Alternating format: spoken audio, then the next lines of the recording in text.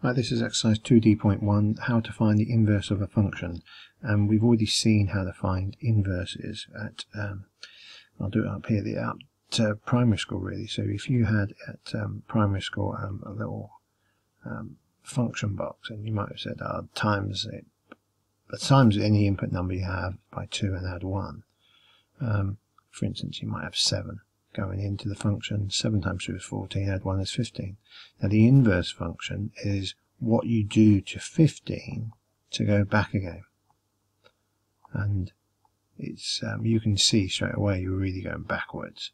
Um, but it's not hard to realize you have to take away the 1 and then divide by the 2. So 15 take away is 14, divided by 2 is 7. So it does work, but um, it's how to do this algebraically that we're looking at today. And there's some easy examples like that one, or some quite tough examples. So a little starter, this is really, um, this is from exercise 2c on composite functions. Um, I'd suggest you have a look at this again um, I, will put up the answers in a bit. I won't show you how to do it. I'll just put up the answers. But if you can't remember how to do it, um, go back to exercise 2c and have a look. Um, here are the answers, um, and you should be able to find them now. If you're any good at composite functions, you'll get those no problem. So, um, assuming you're good at those, we'll go on to today's topic. And um, opposite functions, I've suggested, is another word here. It's not a very good word, to be honest. Um, but it is a, an alternative way of looking at it. What do you, how do you undo might be a better. How do you undo x squared to get back to x? And you'll probably think, oh no, that's a square root function. Um, so this is like square root. Now notice here I'm calling this a square root of x. So um, what I'd be looking at is if this was the function, you know, um, I've got to take whatever number I have. Um, comes in here, I'm going to square my number. x goes in x squared, and that gives me whatever number comes out at the end. Now here I'm going, I'm, i need the x, so don't be surprised I'm writing these. How what do you do to undo a log? Well, again, if you remember, if you had y equals uh, log x, if I wanted x equals, I'd move the log on the other side. And the opposite of a log, the undoing, the inverse, is e. Now it says y, so I better write e to the y equals x. But over here, I'm going to say the, uh, the opposite, the inverse of log x is e to the x. Um, how do you, well, think of this. This is x plus 3, so whatever number I put in, I add 3. So the opposite of that, the inverse of that, is whatever number I put in, I take away 3. So, but notice again, I've got to write the x. It's x take away 3. This is the function, the inverse function of x plus 3. And sine x, well, you, you probably remember how to write the inverse of sine. There it is. And just for completeness, I'll just remind you, or perhaps for the first time we ever show you, um, this can be written as arc sine. Now, most of the time we don't care about this, but occasionally it might pop up, so I'll just show it there. So all of these then have their inverses as described. And then this just summarizes what I've just said. It's uh, Oh, one thing I will say is that this is the notation. I've not shown you this before. Um, I suppose it's a direct consequence of up here. I said the inverse of sine is written sine. It almost looks like a power. It's not a power, but it looks like a power. That's why some people say sine to the minus 1.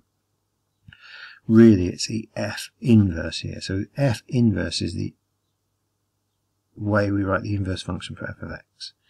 So bearing that in mind, it says, this is the nice gentle one actually. So this says f of x equals 4 minus 3x. So this is the method. You start off, you write y equals the function. You now rearrange the function to get x equals. So my first thought actually, I don't like minus 3x. So I'm going to put the 3x over here. Add y equals 4.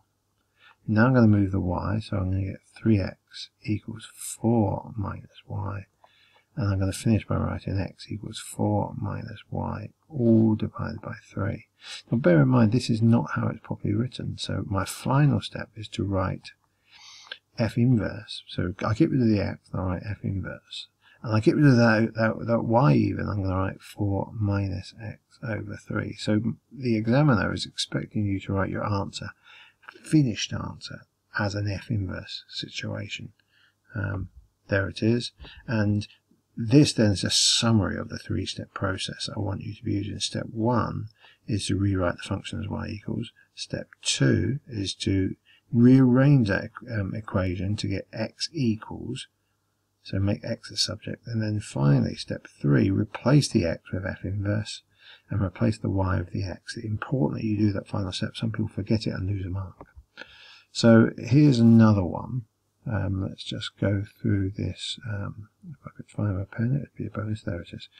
Um, so again, start off on the right, y equals 3 over x minus 1. Now, I've said to you that we make x the subject. Now, the easiest way to make x the subject here is to move the x minus 1, all of it, over here. So I write that as y times by the x minus 1 equals the 3.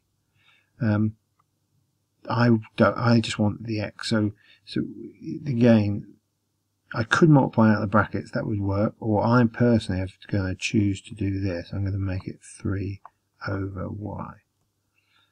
Um, and I'll move up here, I think I need the room. So um, move the 1 on the other side, I get x equals 3 over y plus the 1, and therefore x Oh, well, um, I suppose uh, this is basically saying that f inverse of x equals 3. Notice I'm changing the x to this, changing the y to this. But what I was going to do then actually is just highlight the fact this can be written a second way. So if I put it all over x, um, 1 isn't over x. I need to times that by x. So I get 3 plus x over x. And that's my second way. Both of those ways are fine. Um, ah, this this highlights why I've got this thing here. Um, I forgot to mention this. It says x is not equal to 1. The only reason that, because if, if x is equal to 1, then 1 minus 1 would be 0. And of course, 3 divided by 0, if you do it in a calculator, is not allowed. It's undefined. So that's the only reason that's there. It says, be careful, you not allowed to have x equals 1, but who cares? Notice I didn't use it at all in my answer. I completely ignored that.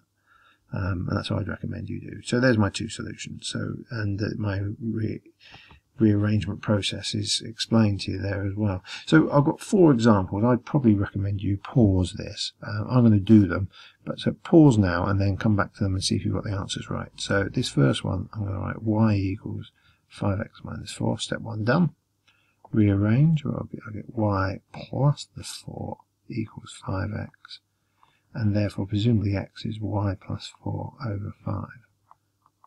Now notice that please that um, I'm, I'm, going to stop there but down here the answers write it properly and of course we want all our answers to say f inverse of x equals something or other and I would write x plus 4 over 5. So this next one, this is y equals 1 over x. Alright, now these actually just switch around. This gives me x equals 1 over y and I'm going to stop there but you can see that's actually well once I change that back to an x you can see it's the same function. And we actually call this a self-inverse function. So um, it's a special case. And you'll see when you write it properly as f inverse you get 1 over x rather than 1 over y and therefore it's the same as you started with. This one what's this? Become y equals 2 over x plus 5 um, Again, this like the example we had just now, it's x plus 5. These two effectively switch places, like we just did. Um, oh, and move the 5 onto the other side. x equals 2 over y minus 5. Um, and of course, I could just rearrange that so I get it all over the same thing, a bit like I did before.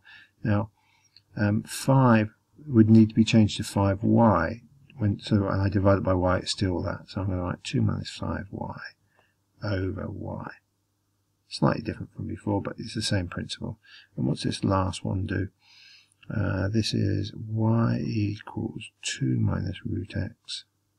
So that sounds to me like I'm going to need to make that root x. If I switch those two round, root x equals 2 minus y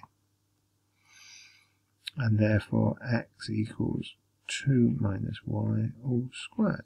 That seems reasonable to me. Now, of course, the final line should say f inverse x equals, and so my answers should have lots of x's, and yes, they do. So all my answers here are exactly the same. This one I was a bit lazy, I only did once. Um, here I've got two answers, both of which are fine. Um, but notice I am replacing the y's with the x's, and all of these should say at the front of them. So this one should say f inverse x equals x plus 4 over 5, and all of them should say that. So hopefully you've got those. Two tricky ones to finish with. Now, these are tricky simply because um, x appears twice. And where x appears twice, we've got a bit more work to do. So I'm going to start over here. I'm going to start with y equals 1 plus x over 3 minus x. And these come up so often that it's worth knowing these tricks. I'm going to get rid of fractions. I never like fractions, so um, let's write it here. I haven't got much room. y lots of 3 minus x equals the 1 plus x. And um, I don't like brackets, so I'm going to multiply that out. 3y minus xy equals 1 plus x. And the other thing I don't particularly like is the fact that x is on both sides. So um, I want to get rid of that. I'm going to write um, x sorry, on the left-hand side, 3, y, minus the 1. So I'm going to move that over there. I think I'm going to move that that way. Equals, what have I got? I've got an x there already, and I've got a plus an xy. And the reason I do this is I take out an x as a common factor on the right-hand side. I get 1 plus y in the bracket. And getting close now to a solution. Um, I can now move that bracket onto the other side. So 3y minus 1 divided by the 1 plus y equals x. And of course I rewrite this as f inverse x. That's the this side down and equals 3x minus 1 over 1 plus x. That's the answer. Notice the complication there was the fact that x appeared twice and you have to make x appear once by factorizing. Um, this second example has got the same problem. We've got x's appearing twice. So you may recall a method for reducing that to only having an x appear once in the expression. And the method is called completing the square. If you remember, you half this 6, I'm going to write x plus 3, all squared. And then I take away the square of the 3, which is 9. Don't forget the 2. So this is y equals x plus 3 all squared minus 11. Um, now, remember this, I, I, all I've managed to do so far is get to a point where I've got x appearing only the once. And I want x to appear once so I can make x the subject. So I need to move everything away from it. So I shall write y plus 11 equals x plus 3 all squared. Come up here. Um, so I've got a square, I've got a square root it then. So x plus 3 is equal to, well, I suppose technically it could be plus or minus the square root. There, that's a, an issue in itself, but um, I probably don't care about it here. It may well get away with this by saying that x is a positive number or something like that, where x is bigger than 3. Um, or more than minus 3 or whatever it is, but they may well restrict the domain to avoid this problem. Um, so I'm, I'm going to ignore the plus or minus for now. I'm just going to say x plus 3. I've got, so what am I doing? Oh, no, I'm talking rubbish here. So um, x plus 3 equals the square root of that side. So it's the square root of the y plus 11. Nearly made a bad error. So x equals, I'm going to say the square root of y plus 11. Take away the 3. Let's see what I've got here. Um, I can just about make that out. I can just about make that out. But notice again on this last one, this is what I forgot to do. I forgot to say f inverse f inverse is the square root of x plus 11 all square rooted minus 3. Now, this is an important last step. As I say, if you don't write that, you'll lose a mark, and um, that was an annoying last mark to lose. Notice the three-step process then, always the same.